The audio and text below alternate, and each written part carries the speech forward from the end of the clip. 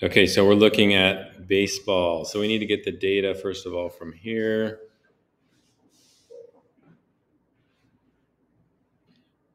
Let that load. I'm going to make a new one here. Create Python. Good afternoon.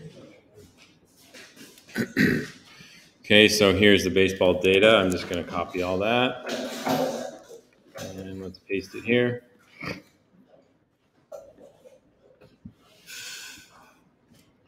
Okay, let's look at what we have. Have. So we have two lists. One is just the name of the players, and the other one is a three-dimensional list. So same idea as basketball. Um, oh, there's Tayo.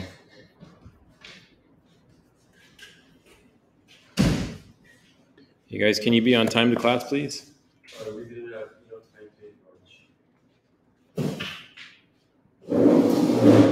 Everyone else on that trip made it to class on time.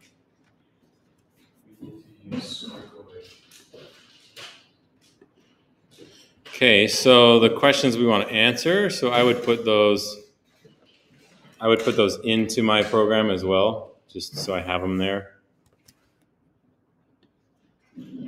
And these can kind of guide. Of course, you want to make them a comment, right? These can guide your your code. Okay, so the first question is what is each player's batting average? So what do I need? I need to start breaking this 3D list down. How do I do that? A for loop, right? For what should I call it? For player. Each one represents a player, right? Player and data. And I always suggest you just try running it with some output just to make sure that player is what you expect it to be. Okay, so I'm seeing a bunch of stuff. Okay, so each of those is a two-dimensional list, right? So what do I need to do next?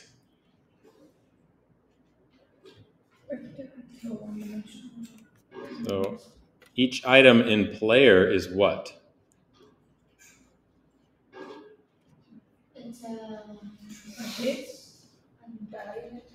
A batting attempt, yeah. It's called an at bat in baseball.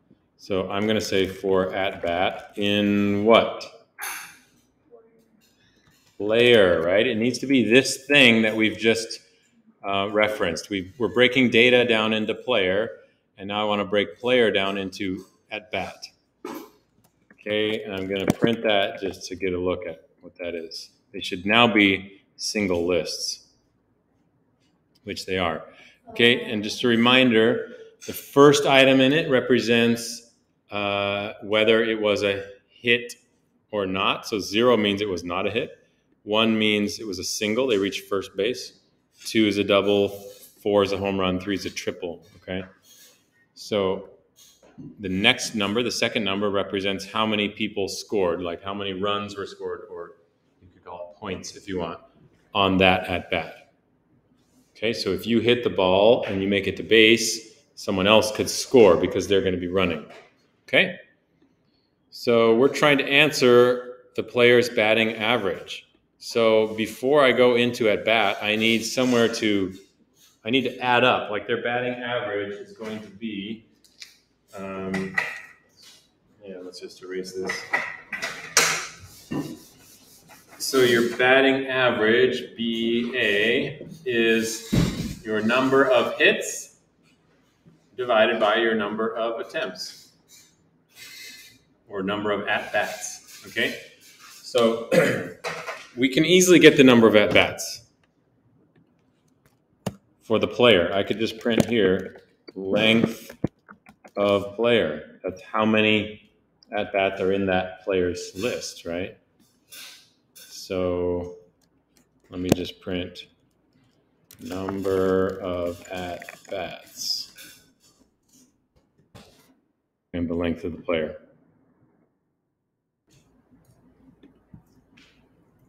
Scrolling up until we see that.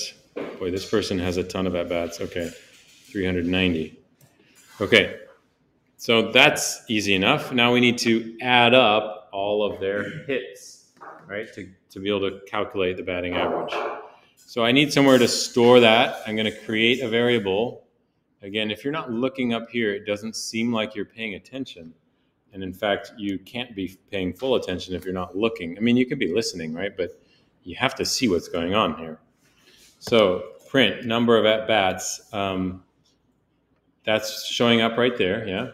Now I need somewhere before I go into all the individual at bats in the player, before I start going there, I need somewhere to store the number of hits. So create a variable, num hits, give it an initial value of zero, right? We want this to reset for each player, right? So for player and data, we're going to print out their number of at bats. We're going to reset num hits to zero, and then we're going to count up num hits in the second loop. Okay, so far okay? Yes. All right. So how do I know if they got a hit?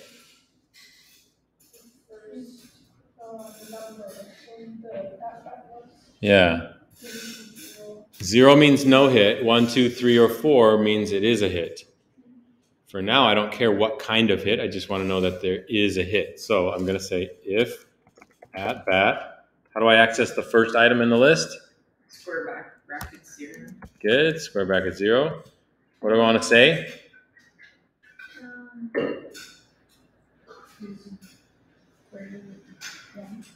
Greater than one. I split it into if that that equals zero, it equals this, and then anything else Mm-hmm. would equal a hit. That's all greater than zero. Yeah, I like greater than zero. There are many ways to do this. Okay, I like greater than zero. That's this, in my mind the simplest, right? If it's greater than zero, that means it's a one, two, or three, or four, and that means we're going to count that as a hit. So next line, I want to do num hits equals num hits plus one. Okay. Now I've been showing you this this way of incrementing a variable. Um, I do want to show you that you can also do a shorthand version. It's just less typing. You can say plus equals one. This is the same thing. It's just saying add one to that variable. Or you can say plus equals two, plus equals whatever. Then you add zero to one. I'm adding one to num hits, right? Which was zero, but now every time we find a hit, we're going to add one to it. So if it was two, it would be three. Yep. Just this just means add one to it and save it in the same place. Okay, so then I need to go after this for loop because this is going to run through every at bat in the player and count up all of their hits. Okay, and then for their batting average, I can print it out. Batting average. That's going to be uh, num hits. Num hits. I probably should have saved the length of the player. No, I can still access length player. That's fine. Num hits divided by length of the player. And let's just see what that looks like. Okay, so I took out that print with all the at-bats. We don't really need to see that. So whoever, like this person, had 478 at-bats and their batting average, uh, normally in baseball, you round it to three digits. Uh, I don't quite remember how to do that right now. I know you can, I just don't remember. We could Google it and find out. Um, I think maybe we just do round. So that might be the first argument, and then three, perhaps. Let's try that. Yeah, there we go. Okay. So that's how it works in baseball. It's zero point and then three digits. So you don't convert it to a percent like you do in basketball or some of many other sports. We just look at it as a, you'd call this 383. All right, so that's in baseball. You'd say that, or that guy's hitting 300. That means 0.300, or three tenths of the time they get a hit, which is pretty good in baseball. Yeah, then Simon. That's fine. That's fine. I'm just saying the convention in the baseball world, if you're into sports, is point something, something, something, three digits, right? You could have done it as a percent. I don't care.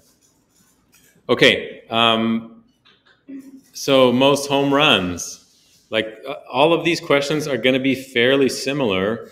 You're going to use some loop to go through. Maybe you want to just copy and do another for loop series through it and run through it again and add up um, the home runs four each person. This one was adding up the number of hits. It wouldn't be that too hard to just change this to be the uh, number of home runs, right? We would say if at bat zero, what? Not greater than one. How do you know it's a home run? Four. Four equals four, right? That would have mean meant it's a home run.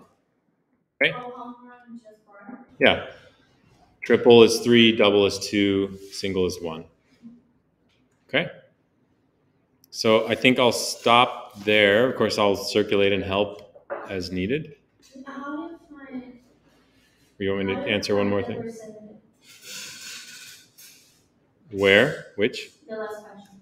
Oh, okay. That one is a little more complicated, but we need to look at this website. Okay, so slugging percentage is basically a, is trying to show a hitter's power. So we're weighting by the number of bases, right? So here's the calculation right here. So it's 1B means number of singles, plus 2B means the number of doubles, times 2 because there it's like two bases. And then the number of triples times 3 because it's one, two, three bases, number of home runs times 4 because it's four bases. So it's basically counting up the total number of bases that they hit divided by their number of at-bats. AB is at-bats. Okay? So you need all those different components um, to add up. But you should have those already because you've already answered those questions here. If you were to add up for each player the number of home runs and for each player the number of triples and doubles and singles, and if you save that somewhere, like in a list called home runs or a list called triples, and it's going to go in the same order, right? We know the order of the players here.